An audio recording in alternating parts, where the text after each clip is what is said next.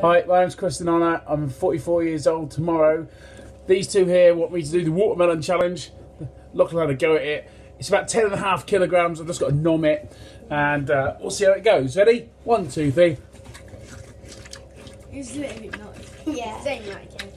No, no, no.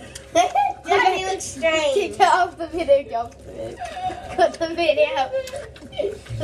Dad, Dad's not gonna taste very nice after. Stop, stop. Let, let's not do that. No. Leave it, leave it, leave it. Stop. No. Ah. He's trying to stop the video. Let's stop. You're spraying the iPad. Get off the video. It's just ridiculous. I don't think you can do it in a minute, Chris. Probably say that eight hours. You got Okay, two, we can eight seconds left. I'll, I'll, I'll go. I'll go there. In a minute. Fine. No, Lachlan. Oh, stop it. Oh, my shoulder. Okay. His dad's the It's over a minute. Stop there. Okay, stop. Stop. You're doing a good job. It's not as easy as it looks, turns out. Oh, turn up the door.